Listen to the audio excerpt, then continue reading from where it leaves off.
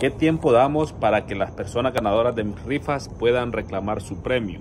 Porque no podemos esperar, estar esperando todo un año para que la persona venga a reclamar el premio. Les digo porque los 200 dólares que se rifaron, pues fue porque la persona no contestó los mensajes eh, y di hasta un plazo. Pero me gustaría que ustedes comenten cuánto tiempo sería bueno, un día, dos días, tres días. Se supone que las personas que van a estar concursando en las rifas van a estar muy atentos al contenido que voy a estar compartiendo y especialmente a las rifas. Si van a estar concursando, van a estar muy pendientes al en vivo y todo eso. Así que por favor déjenmelo saber en sus comentarios qué opinan, cuánto tiempo damos de espera para que la persona pueda reclamar el, premio.